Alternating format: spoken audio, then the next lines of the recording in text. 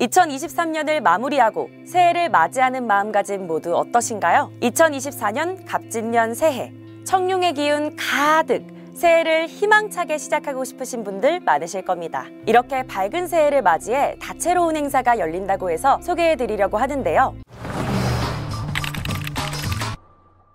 많은 인파가 몰리는 이 대규모 행사는 코로나19 팬데믹 이후 3년 만이라 더욱 기대가 됩니다. 대구시는 오늘 31일 밤 10시부터 제야의종 타종 행사를 엽니다. 중구 국채보상운동 기념공원 달구벌대종 앞 특설 무대에서 2023년 제야의 타종 행사를 개최하는데요. 행사에는 타종 인사 및 시민 약 2만여 명이 참가할 것으로 보입니다. 중구를 제외한 8개 구구는 해맞이 또는 해넘이 행사를 개최하는데 남구에서 오늘 오후 5시 2023 앞산 해넘이 축제를 시작으로 각 구와 군의 상징 장소에서 해맞이 행사를 개최합니다. 처음 대구 소속으로 새해를 맞는 군의군도 1월 1일인 내일 가톨릭공원 묘원에서 소망지 쓰기 등의 새해 행사를 진행할 예정이라고 합니다. 연말 연시 다사다난했던 한 해를 잘 마무리하고 밝아오는 새해 힘차게 맞이하셨으면 좋겠습니다. 대구 경북 의 대표일간지 영남일보는 2024년 새해에도 사람과 지역의 가치를 생각하는 소식을 전하는데 앞장서겠습니다. 2023년 올해도 사랑해주셔서 고맙습니다. 그럼 저희는 내년에 다시 뵙겠습니다. 새해 복 많이 받으세요.